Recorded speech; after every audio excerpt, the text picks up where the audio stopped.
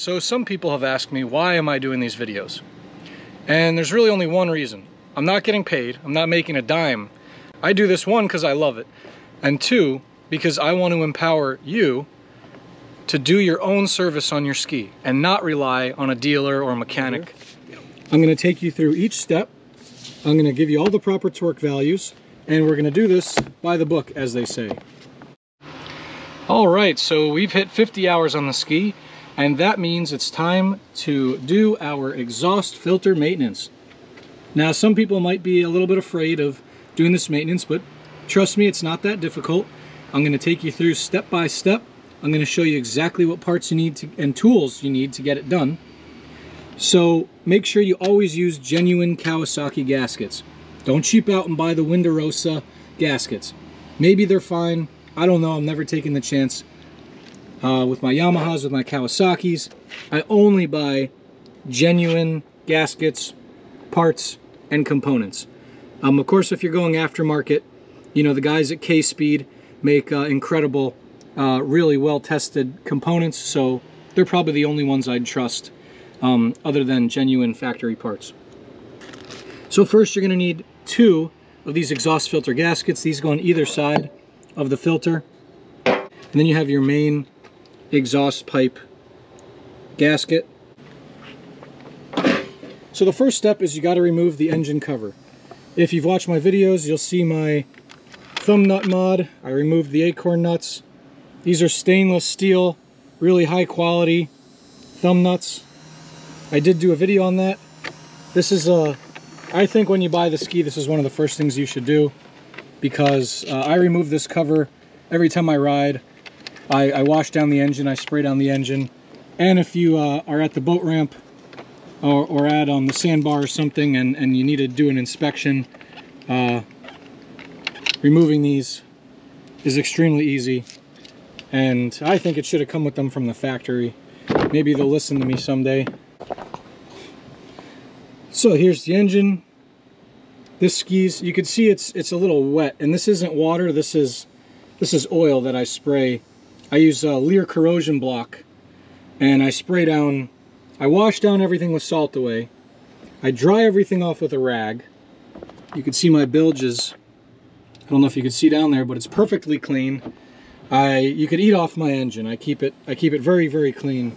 Um, you don't want any salt. You don't want any mineral buildup. This is your exhaust manifold down here. This is your upper exhaust pipe. This is your lower exhaust pipe. So here's our exhaust filter right here.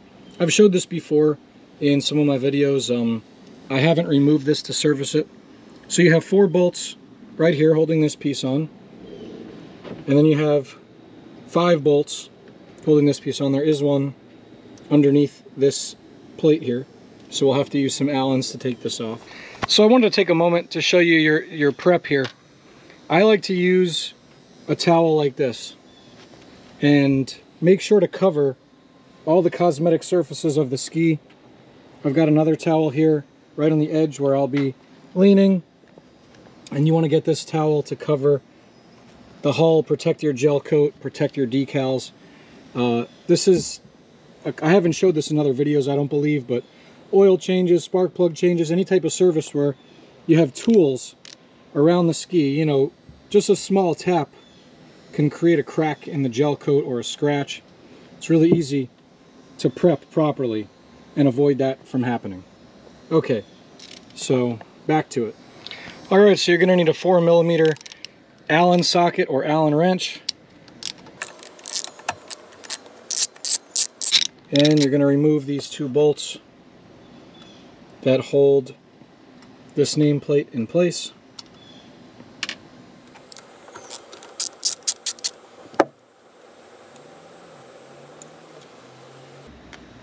Alright, this plate should come right off. So the four bolts right here, these are 12 millimeter. You're to go pop each of those. They are torqued, so you're to have to loosen them each. Those are 12. You have one more bolt right here. This is a 14 millimeter. And then your four right here are also 14 millimeter. So we're to remove this hose on the top of the catch can here. loosen the clamp, and pull the hose off. Don't use a screwdriver to get it off. Some people like to do that. You could damage the hose. We're also going to disconnect this cooling line right here.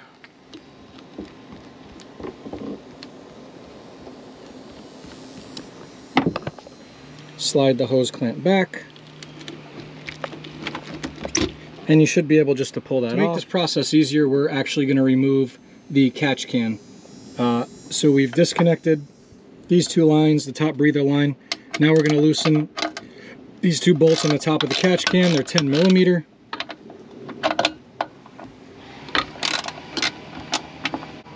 You don't have to disconnect the line on the bottom because we don't we're not going to remove the can from the ski. We're just going to set it over there on top of the uh, supercharger uh, pressure relief valve there.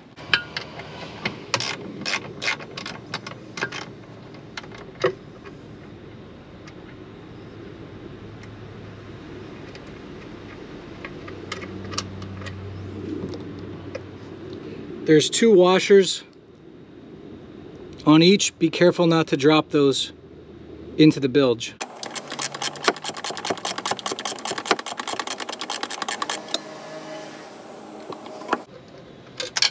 Fuck. As I said, don't drop the fucking washers. And what did I do? I dropped the fucking washer. It's not lost. All right, so we've got our catch can just out of the way here. You don't have to remove it from the ski if you don't want to.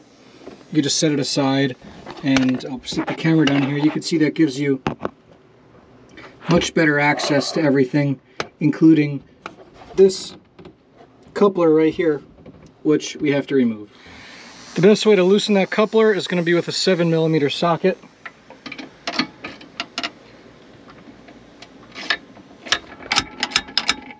So we've loosened our four 12 millimeter bolts. We're now going to loosen this 14 millimeter bolt right here.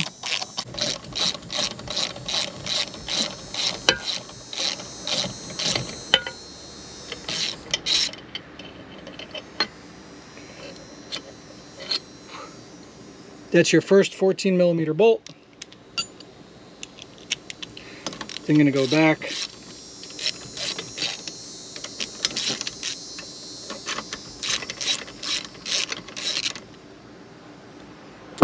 and loosen each of these 12 millimeter bolts right here.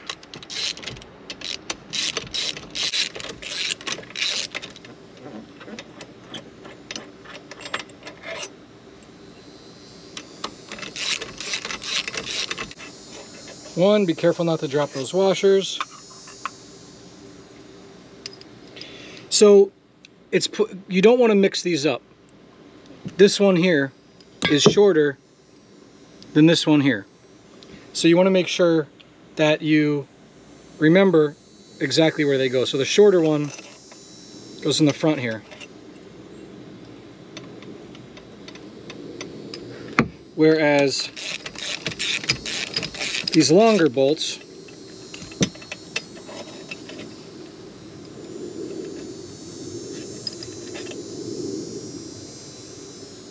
go in the top. set this aside. And we've got one more here.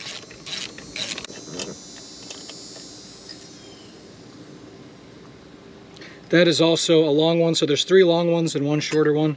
The shorter one goes in the front part of the manifold.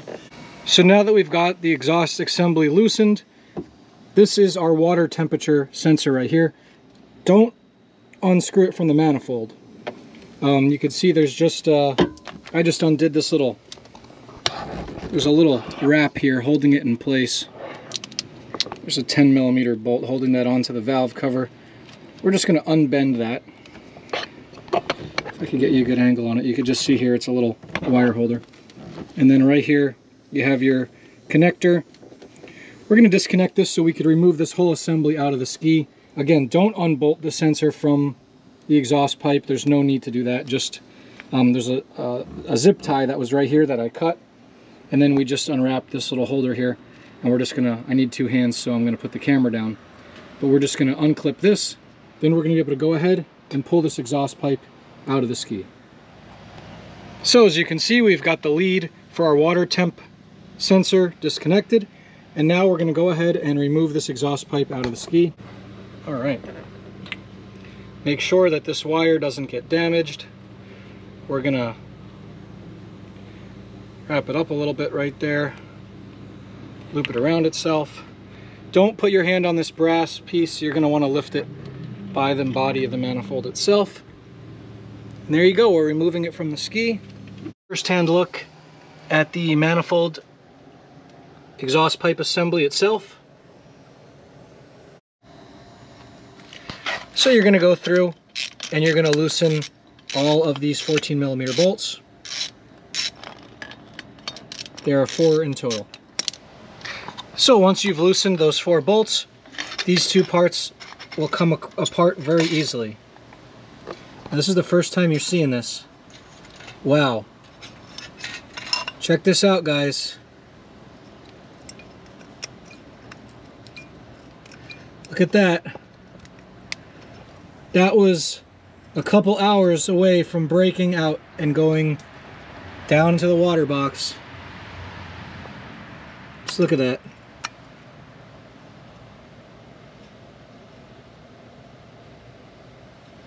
Hmm. You could see it was ready to go.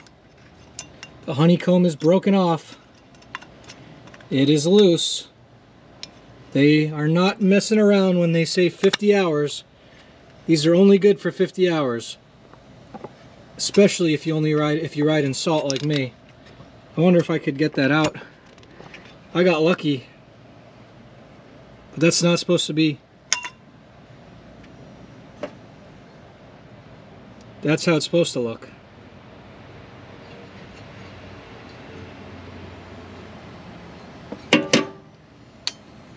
you could see even that the welds that hold this together failed. So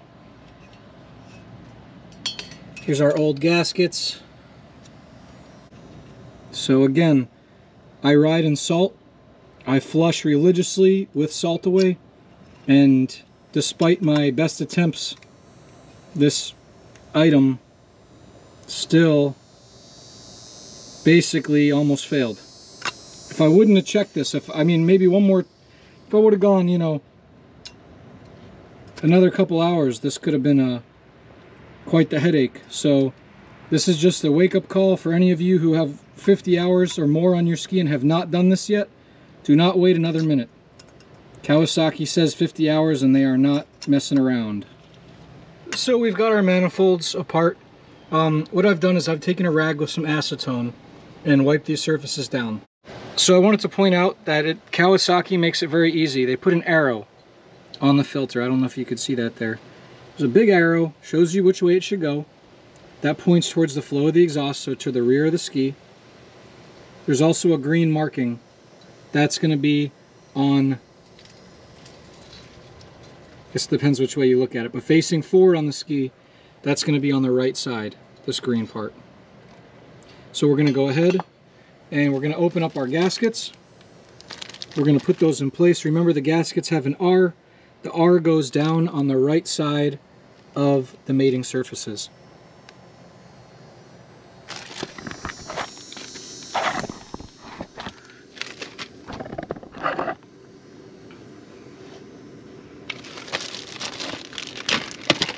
So we're going to go ahead, we're going to go ahead and open our gasket. Here's our new Kawasaki gasket. You can see the dowels. That's going to be inserted right like that. Then our exhaust filter. Make sure the arrow is pointing towards the back of the ski. That arrow corresponds with the flow of the exhaust, which is backwards. We're going to go ahead and install that filter, lining up the pins as so. It's now time for the second gasket. We've got our first gasket, exhaust filter. Now here is the second gasket. goes right like that. Then we have our lower pipe right here. And that's gonna go just like that. These bolts do not get Loctite. We're gonna start them by hand. Get them in place. Now before you tighten them, make sure you get them all hand tight. And before you torque them rather, make sure you get them all in there and get them hand tight. All right, so you're gonna tighten these bolts. I like to do them diagonally. So I'll do that, that one. I don't know if you can see. And that one. Then I'll do this one, this one, and this one, then back to that one. So now you've got them hand tight, so now it's time to torque them. The torque value for these is 33 foot-pounds. So I like this torsion style wrench. You've seen me use it before. Okay, then again, that's 33 foot-pounds. Exhaust assembly back together. We've got our brand new filter in. Again, you're always gonna want, there's a green mark on the filter.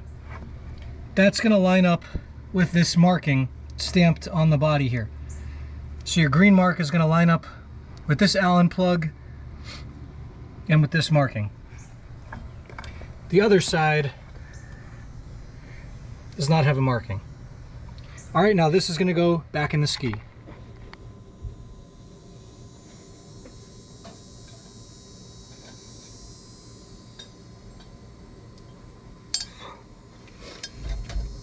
Now you'll notice that the gasket here has part of it raised and part of it flat. The flat part goes here against the manifold.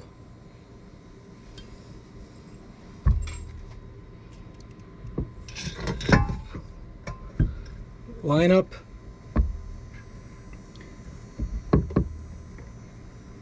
Your exhaust hose down there.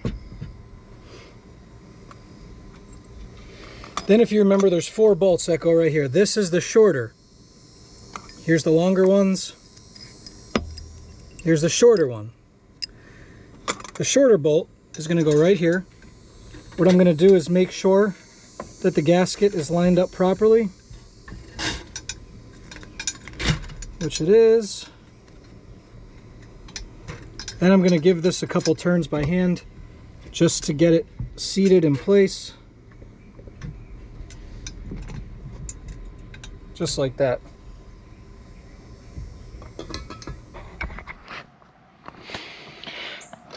Right, so once you've got these four bolts in right here, these are 12 millimeter. These are each going to be torqued to 26 foot-pounds.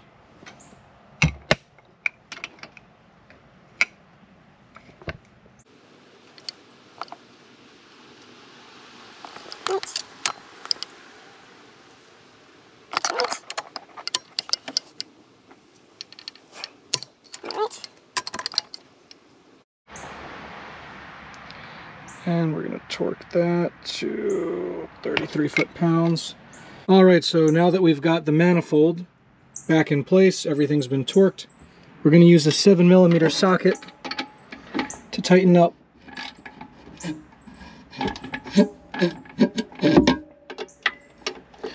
to tighten up this uh, exhaust hose right here. So you can see that all that blue down there, I made sure to spray everything really well. I use this product, I've shown it on my channel before. This is Lear Corrosion Block, manufactured by Lear Chemical. Uh, spray down everything that's metal with this. Great product. It dissolves corrosion on contact.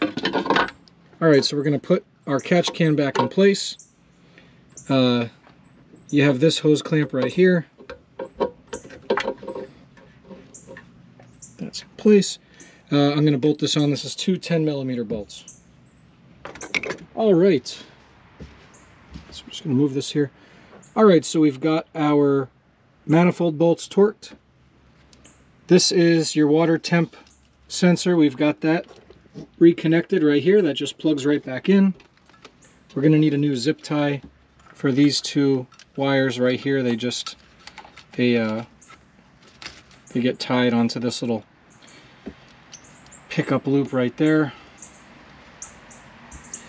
The next thing we're going to want to do is reattach our catch can and reattach all these hoses and go ahead and tighten your catch can bolts. Then we are going to reattach this breather hose here from the airbox. Slip that on. And the hose clamp here. All right, that's good to go. Now we have this water line up here.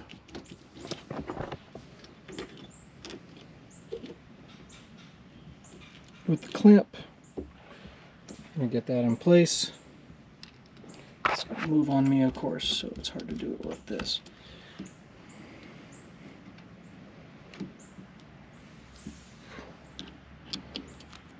Tighten that, that hose clamp here.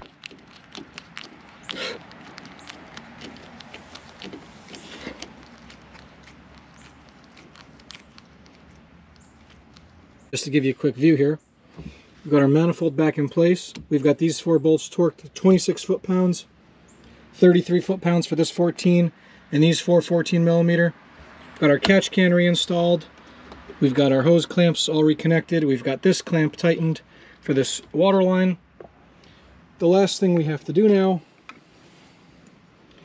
is reinstall our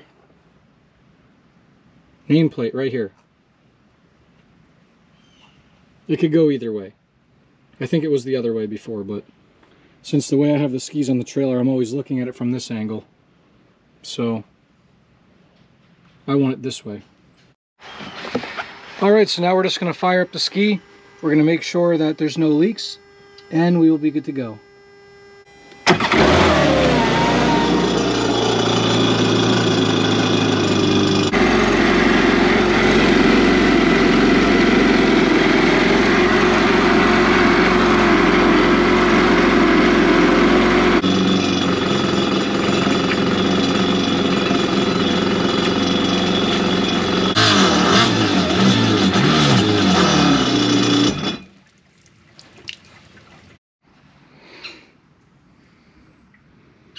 So we've run the engine for a few minutes on the hose. We've checked our manifold to make sure there's no leaks at any of our joints. Everything looks good. Final step is to reinstall our engine cover. Again, if you haven't watched my video, you're want to buy a set of these thumb nuts.